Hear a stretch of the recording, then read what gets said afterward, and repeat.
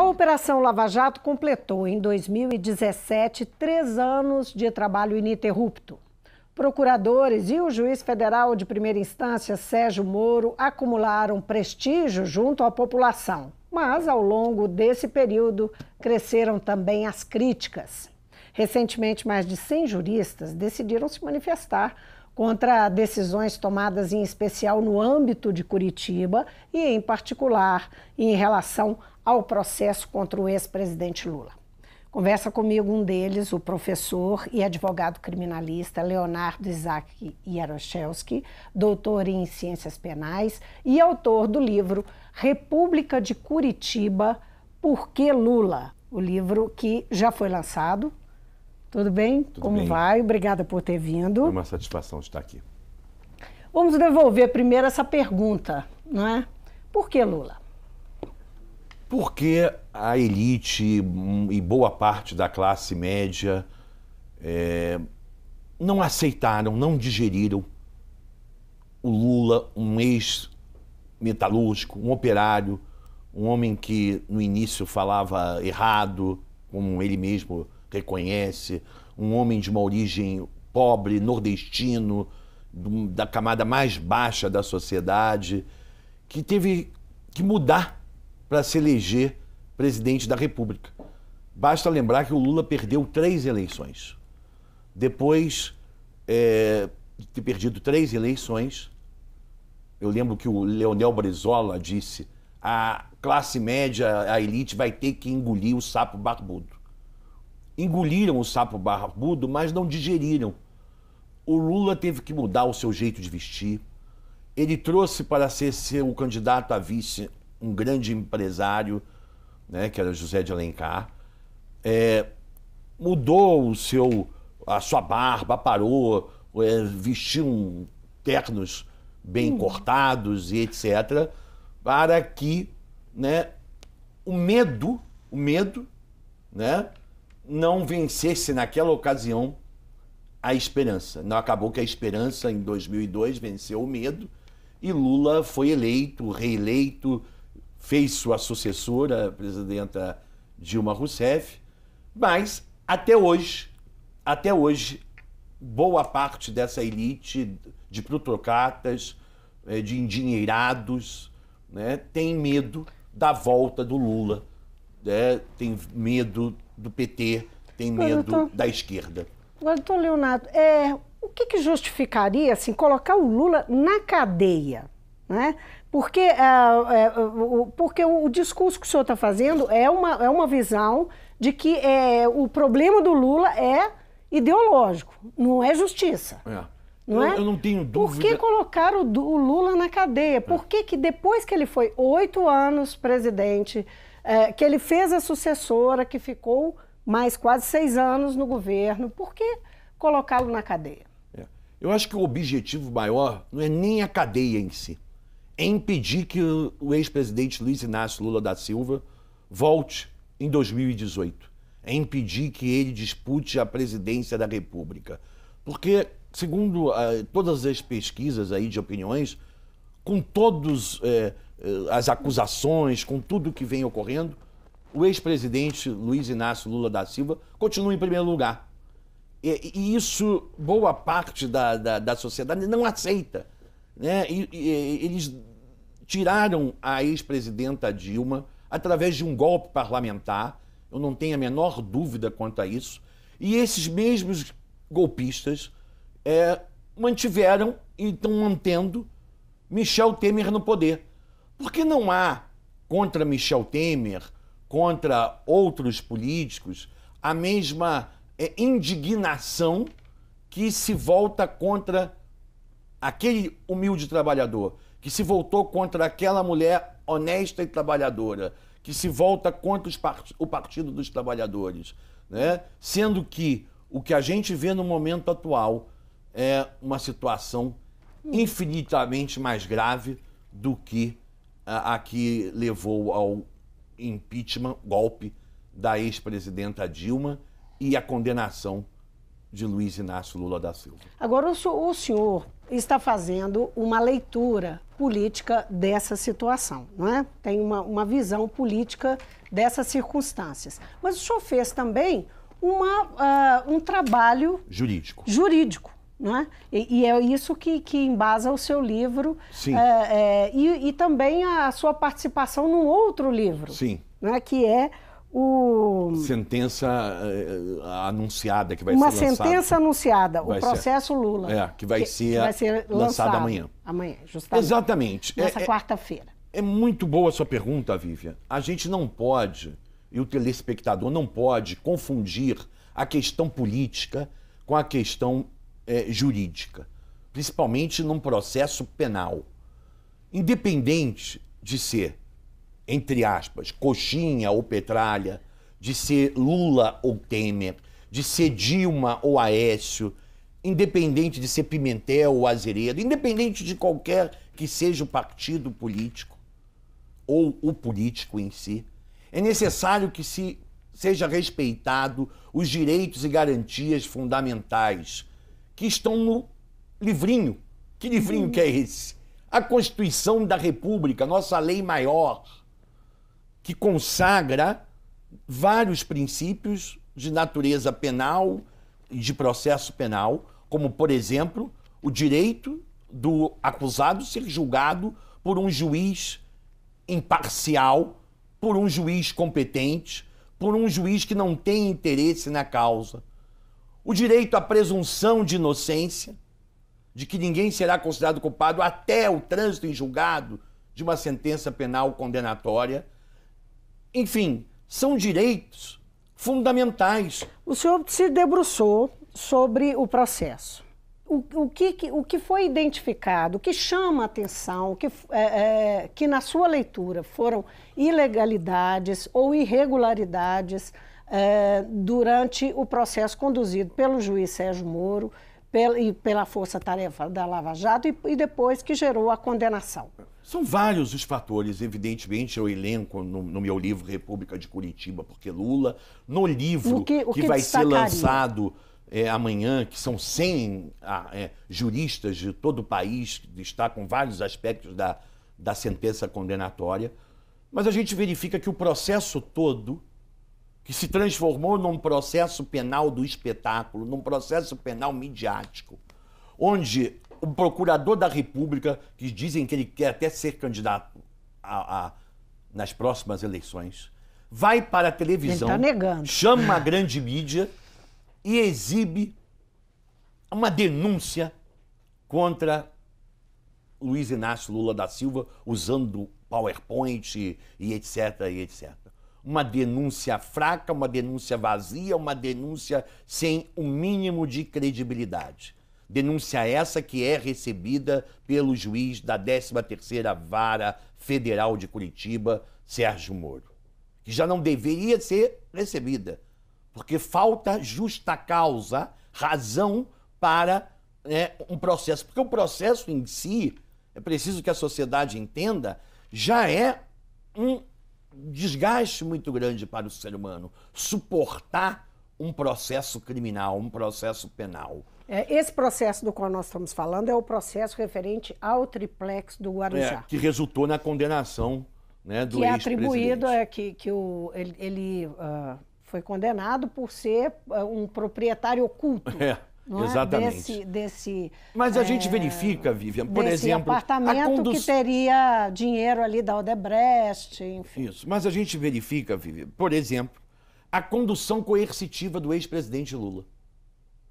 Foi um dos maiores absurdos jurídicos que eu já presenciei em mais de 30 anos de advocacia criminal. Por quê? Assim, Por quê? Porque não havia Por razão. Porque o, bastaria o Lula ser intimado para ele comparecer. Ele o Moro nunca foi chegou, chamado. O Moro é? chegou a dizer que aquilo foi para protegê-lo. Isso é tão absurdo quanto uma prisão decretada sob o manto de que é para proteger o indivíduo. Prisão não protege ninguém. Do mesmo modo, essa condução coercitiva de quem sequer havia sido intimado para comparecer. Porque se a pessoa. E vejam bem, o acusado tem o direito de ficar calado. É um direito sagrado, é um direito constitucional. Se ele tem o direito de ficar calado, ele sequer tem eh, o, o dever de comparecer e prestar depoimento. Para que essa condução coercitiva? Foi uma condução midiática. Como foi midiática, abusiva e arbitrária o grampo uhum. e vazamento desse grampo de uma interceptação telefônica em, na época entre a ex-presidenta, a então presidenta Dilma Rousseff e o ex-presidente Lula. Agora, esse Por quê? episódio Porque a competência do é do Supremo Tribunal Federal. Uhum. O juiz Sérgio Moro, da 13ª Vara, usurpou, usurpou a competência uhum.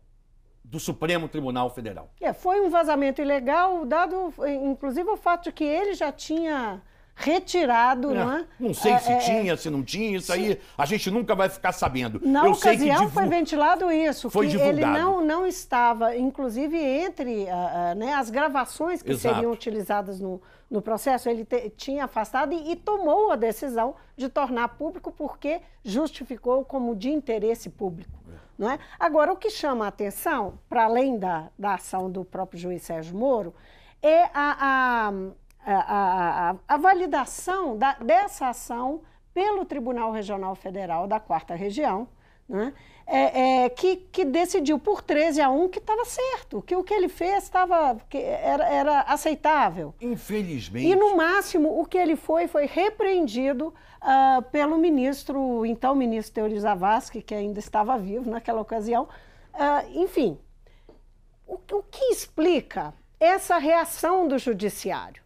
Porque para o cidadão que está tentando entender, ele pode interpretar assim, uai, mas se todo mundo acha que está certo, por que, que não está certo? Mas não é todo mundo que acha que está certo. Não, Eu não quero aqui usar digamos, as instâncias de, superiores. O, o argumento de autoridade, mas uhum. esse livro, que vai ser lançado sobre a sentença, são mais de 100 juristas. Uhum. São pessoas com currículo respeitado, inclusive fora do Brasil né, são professores titulares diversos, professoras respeitadíssimas, né, que coordenaram esse trabalho, né, pessoas que não iam colocar o seu nome por um interesse partidário. Não se trata disso. Se trata de uma defesa do Estado de Direito.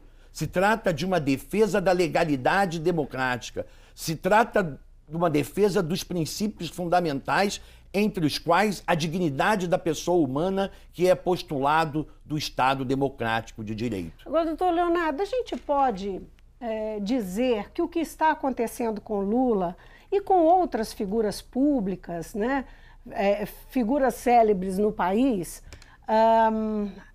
acontece todo dia, na primeira instância?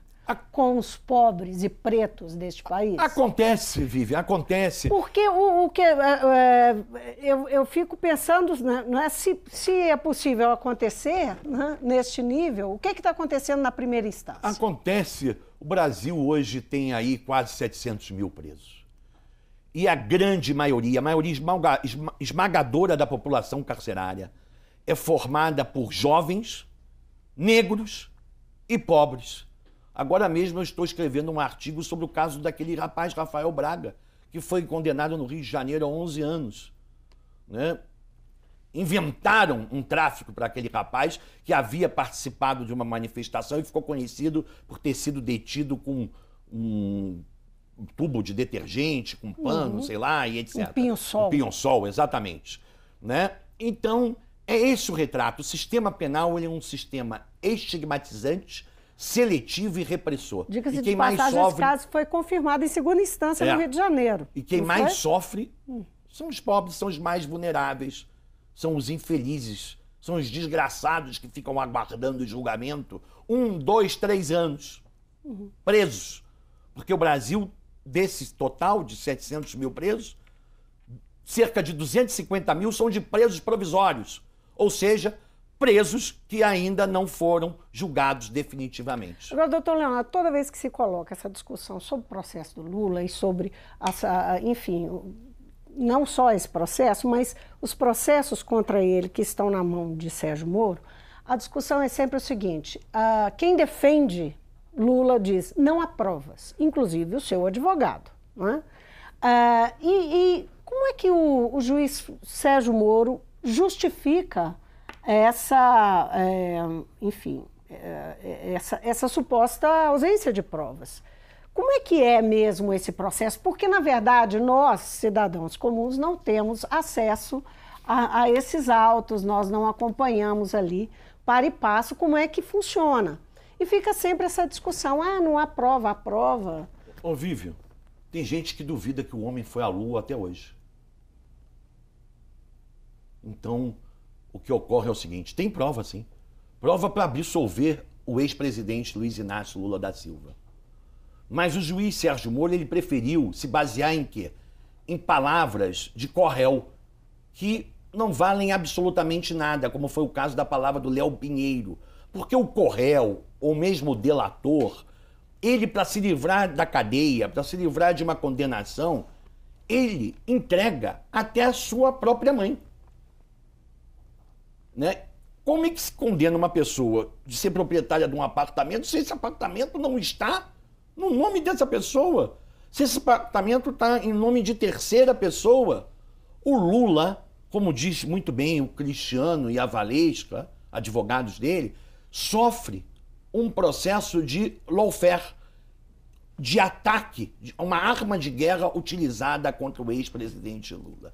Não duvidem disso, é tudo uma, é, uma estrutura que foi montada, né, muito grande, hum. entre membros do Ministério Público Federal e a Justiça Federal para é, condenar o ex-presidente Lula e tirar o ex-presidente Lula da vida pública. Como é que o senhor imagina que, uh, apesar de que já há muita conjectura sobre isso, mas o que, que o senhor acha que vai, o, a segunda instância, o Tribunal Regional Federal de, de Porto Alegre, vai agir a hora que, que tiver que julgar, é. né? a decisão do, do, Eu espero que, espero evidentemente, eu, eu, tenho que esperar, senão tenho que desistir da minha profissão.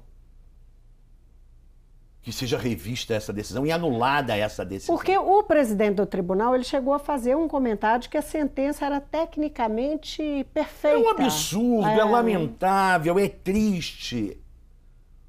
Um juiz que não se porta como um juiz, um ministro que não se porta como um ministro é lamentável um juiz que vá para frente da TV, vai para o rádio e fala sobre um processo em curso que pode ser julgado pelo seu tribunal. Ele, inclusive, admitiu que não leu o processo, né? né? É, então é, é, é, é, lamentável. Na verdade, o que, o que há é um processo do espetáculo, um processo penal midiático que sufoca o processo penal democrático, o processo penal constitucional, o processo penal acusatório. Então, em nome desse espetáculo, em nome eh, da mídia, né, eh, se atropela e se julga para agradar boa parte da opinião publicada. Doutor Leonardo, é, qual é a expectativa do senhor em relação ao Supremo? Porque esse caso vai acabar chegando no Supremo, né? Olha, é, é difícil a gente falar sobre qual que é a expectativa de se chegar ao Supremo. Até nesse contexto, antes levando em conta esse contexto Antes do, do, Supremo tem um STJ, né, que é o Superior Tribunal uhum. de Justiça, e tem, evidentemente, o Supremo Tribunal Federal. E é aquilo que eu estou dizendo, Vivian. Eu tenho que acreditar. Por mais, às vezes, que os fatos demonstrem é, o contrário, em razão do que a gente tem visto, inclusive de ministros do Supremo, manifestações fora do, do processo, fora dos autos, dando opiniões. Uhum. O que é lamentável. Mas eu tenho que acreditar. Porque senão eu tenho que aposentar é, minha da advocacia e vender coco numa praia deserta aí. Deserta não, porque senão ninguém vai comprar o coco, né? Em Copacabana. Né? Vender coco e pronto, e largar o direito largar, tocar fogo nos meus livros todos, né? como o nazismo fez. Infelizmente, a gente verifica, lamentavelmente, que medidas de exceção, de um Estado de exceção, estão prevalecendo sobre um Estado democrático de direito. O senhor tem alguma expectativa de ver isso revertido? Olhando para frente, eu falei, preciso acreditar. O que, é que poderia reverter essa situação? A consciência e a honestidade intelectual do jogador, dos jogadores. Se eles agirem com compromisso com a justiça, com a verdadeira justiça, se eles agirem com compromisso com o Estado democrático de direito, eles vão anular essa sentença, que é uma sentença absurda. Agora, a, é, a Lava Jato deixou de ser, ela, claro que unanimidade, eu vou usar a expressão unanimidade, mas é só uma força de expressão, ela nunca foi uma unanimidade, desde o princípio teve críticas. Só que essas críticas começaram a crescer, né? e hoje nós temos muito mais críticas, muito mais discussões sobre é, a forma de trabalhar, e os muitos questionamentos surgiram. É, desde nesses, nesses três anos, pelo menos nesse último ano especialmente. O senhor relaciona isso a, ao fato de que a, agora não é só o PT é, que está, o PT e, os, e, e, as pessoas ligadas ao PT que, que for, passaram por condenações, mas enfim, a participação do PT em, toda, em todos os processos relacionados à Petrobras? O senhor faz uma relação de que agora não é mais. Não, não, não acredito nisso. O senhor acha que não? Eu acho que é a mesma coisa que eu falei do sistema penitenciário. A maioria do sistema penitenciário, a grande maioria, mais de 95%, é de pobres, miseráveis, hum. etc., jovens, homens, é, semi-analfabetos, etc. De vez em quando prendem um, um, um rico, um branco, um louro de olhos azuis. Para dizer, tá vendo? Não prendemos só negros. Não são só pobres. Esse é rico e é branco. E foi preso. A justiça é igual para todos. É o que acontece no atual momento em relação à Lava Jato. E eu devolvo a pergunta para você. Quanto tempo pessoas de outros partidos ficaram presas e quanto tempo pessoas ligadas ao Partido dos Trabalhadores ficaram presas? Quero deixar claro aqui que eu não sou filiado a nenhum partido. Mas o meu compromisso maior é com o Estado democrático de direito, é com a legalidade democrática. Do mesmo modo que estou escrevendo lá para o Rafael Braga, do mesmo modo que elogiei o voto de Alexandre Carvalho quando absolveu Eduardo Azeredo, porque fez como deveria ser feito. Né? Então, independente do partido político, independente de CPT, PSDB, PMDB ou, ou DEM, independente de qualquer que seja, luto e escrevo para que o Estado democrático de direito prevaleça. Uhum. O senhor relacionou esses três casos porque são casos que não têm base em provas. É, é não tem. É, é, tem uma coisa muito interessante no caso do Azeredo e do, do, e do ex-presidente, né? é que são pessoas que são condenadas pelo chamado direito penal do, do autor. Eu até escrevi um artigo que fala que o Moro ressuscitou o direito penal do autor, que é a pessoa ser julgada por aquilo que ela é. A pessoa não pode ser julgada por aquilo que ela é porque é governador do estado de Minas Gerais ou porque é presidente da República. A pessoa tem que ser julgada por aquilo que faz ou por aquilo que deixa de fazer, né? pelos seus atos, né? e não pela posição que ocupa. Eu não posso julgar qualquer que seja o ministro de Estado, ah, não, ele é ministro, ele é responsável. Não. Eu tenho que verificar se dentro do âmbito da sua atuação, se ele agiu ou ele deixou de agir. Ah, ele é presidente, logo ele é responsável por tudo que acontece de errado. Não. Tem que verificar se ele agiu ou deixou de agir dentro do âmbito da sua é, é, competência. Né? Então é necessário verificar isso para não cometer injustiças e para não voltarmos na época dos nazismo, do nazismo, do fascismo, onde o sujeito era julgado porque era judeu, porque era negro, porque era bruxa, em tempos mais remotos. Tempos remotos, mas que a gente precisa ficar sempre alerta. Claro, sempre. Não ter de volta. Doutor Leonardo, muitíssimo obrigada por vir ao Eu que político. agradeço, foi uma alegria estar aqui, poder de algum modo debater temas importantes e atuais da nossa sociedade. Eu conversei com o doutor Leonardo Isaac Jaroszewski, ele é advogado criminalista, autor do livro República de Curitiba, Por que Lula? Uh, e um dos 102 juristas que assinam uh, o livro Comentários a uma Sentença Anunciada. É um livro que vai ser lançado nesta quarta-feira no Sindicato dos Jornalistas, às 18h30, Sindicato de Jornalistas de Minas Gerais, uh, às 18h30 da tarde, e será um ato público em defesa da democracia organizado pela Frente Brasil Popular, pelo PT e o Sindicato dos Advogados de Minas Gerais. Tá Obrigado. certo isso? É isso aí. Isso Aguardo mesmo. todos amanhã. É isso aí, muito obrigada pela sua companhia e até o próximo programa.